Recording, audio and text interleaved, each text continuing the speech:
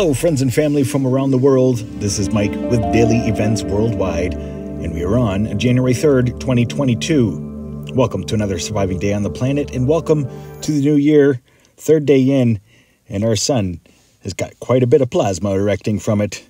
Looking at a pretty active sun the last 48 hours, mostly on the outgoing limb, as there was a pretty large CME that ejected in the outgoing position but we have both antipodal regions really reaching from the surface of the sun right now. Looking at the last 48 hours incoming, you can see on the left side all of the plasma lifting into our heliosphere. Other than that, there are no other sun events that are cresting. Looking at outgoing, we do have those couple sunspots. The one on the left produced a CME and as well solar flare over the last few days. And it just produced a pretty sizable CME in an outgoing position. Another quick look at the two regions. Now, this plasma is reaching heights of about 12 Earths stacked on top of each other. Well, maybe five, but still very tall plasma filaments right now erecting from the sun. Looking at the multi-spectrum here, you can see all of the plasma dancing around. A few plasma tornadoes there in the southwest region. And no major coronal holes that are Earth-facing right now. We do have this one here developing in the southern hemisphere of our sun.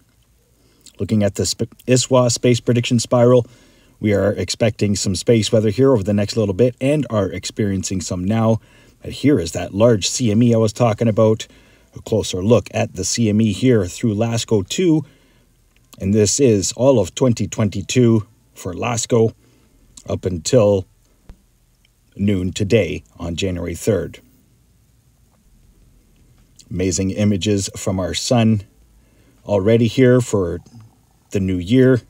Looking at a real time solar wind, we're sitting at 516 kilometers per second right now, and that's been elevated all day and all day yesterday as well but it ramped up to about 620 kilometers per second. Phi angle flipped there around the same time. Solar X ray flux remains in the B class range. Geomagnetic activity remains low. Schumann resonance for today, a power of 16, a nice low hum for our planet today.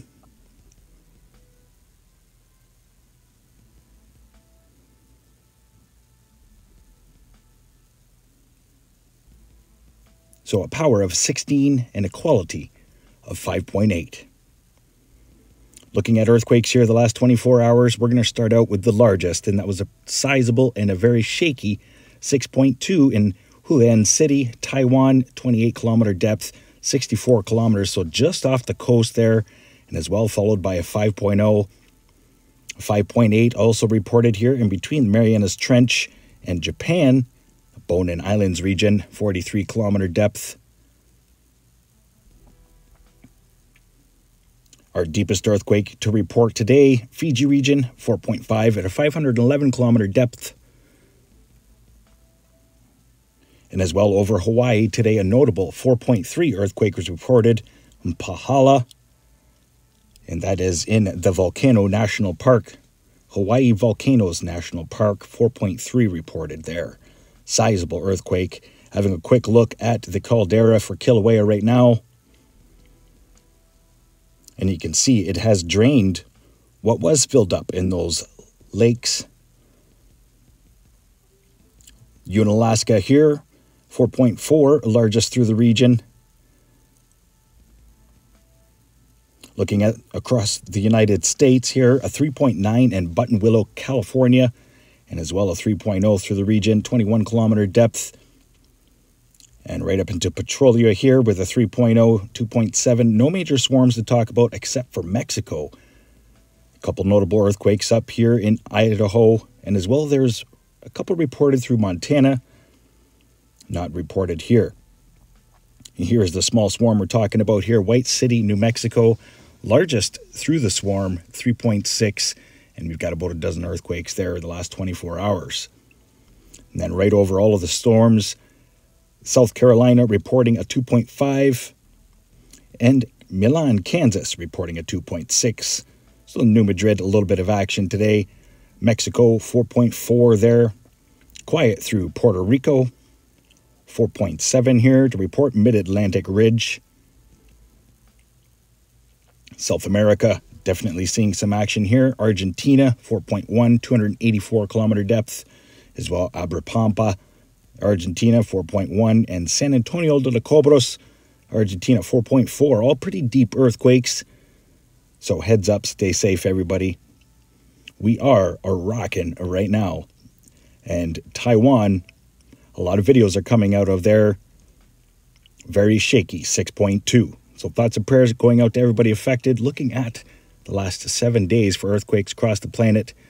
Most notable here, the big ones through Indonesia, Taiwan, but still very low number for large earthquakes. We are expecting something more. Too quiet through the North American plate right now. Something I wanted to share with you here 180 almost 180 kilometer winds are going to be reported here, forecasted for the middle of the Atlantic Ocean, heading towards Iceland and Greenland. This monstrous storm is the storm that just came out of southeastern United States. That same low pressure system, Colorado low, it's on the coastline right now of Virginia. And you can see here the forecast as it kicks into the Atlantic Ocean and then really ramps up here, clocking almost 180 kilometer per hour winds. What is wrong with our planet right now? I mean, I, I know we're trying to transition into winter, but this is a little bit extreme. These systems are huge, and nothing is stopping them, and they just keep going around to the northern hemisphere, around our oceans. Crazy stuff. So, this is the forecast model for all the winds across the world, brought to you by windy.com. Overlooking the Pacific, kind of have the same thing progressing through here. All the low pressure systems are joining forces and creating monstrous lows or ma- massive conjunctions of lows through the ocean. And look at these two big bad boys coming out of the Pacific this week. Half the size of the Pacific Ocean. And there's two of them. Something's up. Something's up, folks. Friends and family, we are on the verge of a great change, a great shift on this planet. And I can say that we've been here before, possibly thousands of years ago. Quick look here at a cyclone that's going to be ravaging parts of northern territory of Australia, long range. Much love to everybody and prayers for humanity. I appreciate you all joining this journey and following along with daily events worldwide. Let's have a look at the five day forecast to show you how the polar vortex is coming along. And we're going to start out here, Ontario, home base right now, as we do have a low pressure system heading into the region little Alberta Clipper, and as well a very cold high pressure ridge coming from Alberta. So watch for these temperatures to really dip down in the five day forecast here, minus double digits in the long range. We were already there last night, but we're going to get a warm front ahead of the low, and then really cold high pressure ridge is going to pop right in, drying things out with some cold air coming from Alberta and BC. They're still locked in minus 20 and have been for the last week. Parts of Calgary saw Chinook, and we'll be seeing another Chinook possibly Friday.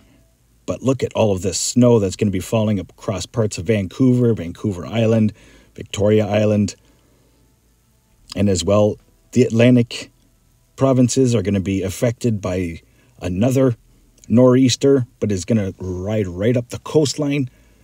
Just look at the Atlantic Ocean right now. These systems just keep joining forces. Overlooking Europe, really starting to cool down as these northeastern lows coming from Norway really starting to chill things out. And as well, you've got some systems bouncing off of Iceland and down into the UK, overlooking Russia, Southeast Asia, and through Pakistan here. Watch for heavy snow and extreme weather through northern parts of Pakistan as this low pressure system heads in for Friday, Saturday.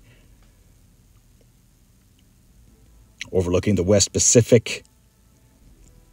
Pretty big a low pressure center. And it doesn't seem to be changing much at all.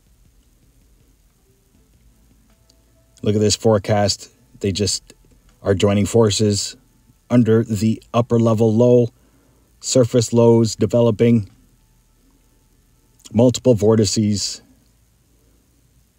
deep polar troughs. Some really cold temperatures are going to be coming to North America, so stay warm, my friends and family around the world.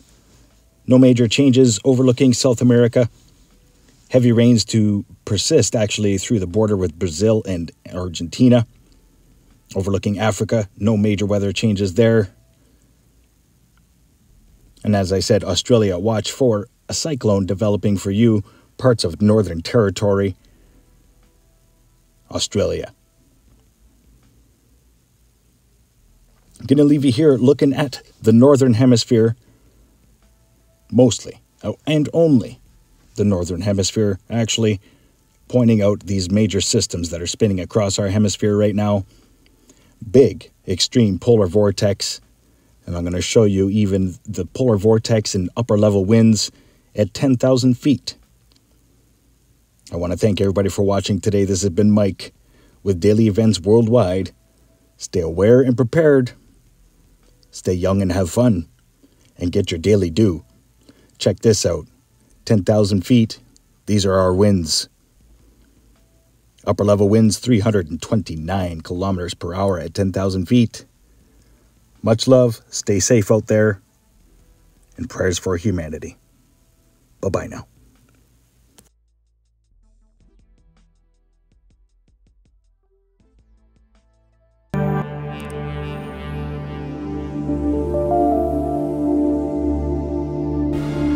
If you enjoyed today's video, please hit that like button, subscribe, share with your friends and family from across the world.